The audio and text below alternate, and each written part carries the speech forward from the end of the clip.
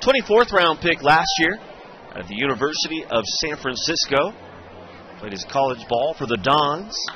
The 1 0 pitch. This one hit pretty well towards right field. Going back to the track, and you can tell it goodbye. Giarratano goes big fly for the first time this year, and he adds to Salem's lead. It's now 3 to nothing, and we're only in the top of the second.